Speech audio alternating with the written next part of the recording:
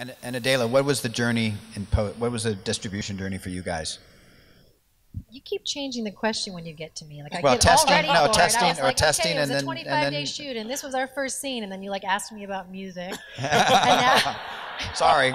and now I thought we were going to talk about like festivals and like testing or not testing, and you're like, so distribution. No, no, no, no, no. I I meant test. I'm, when I said distribution, I meant testing. And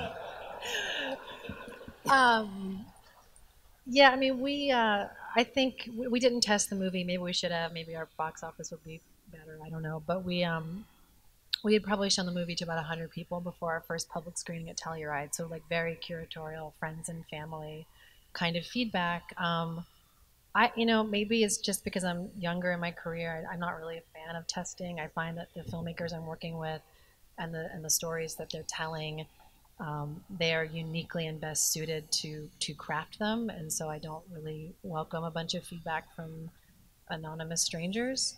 Um, but maybe I'm sure that will change uh, over time, or not change over time.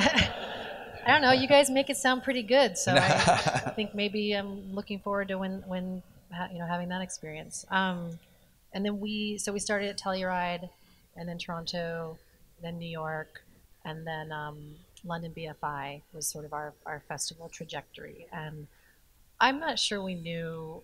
Okay, I'll, I'll be honest. We didn't know what we had. We didn't really understand that the movie could um, succeed at the level that, that it has been. I think we knew it was special and we knew it would find an audience that it was really meaningful to and that it would find good critical response. But I think um, Barry never took for granted that his movie would play at Telluride, even though he'd worked there for 14 years.